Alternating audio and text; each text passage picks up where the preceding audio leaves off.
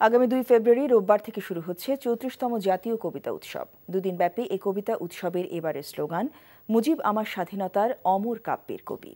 কবিতা উৎসব উপলক্ষে আয়োজিত এক সংবাদ সম্মেলনে জাতীয় কবিতা পরিষদের সাধারণ সম্পাদক তারিক সুজাত জানান, এবারে কবিতা উৎসবের উদ্বোধন করবেন দেশের অন্যতম প্রধান কবি মহাদেব সাহা।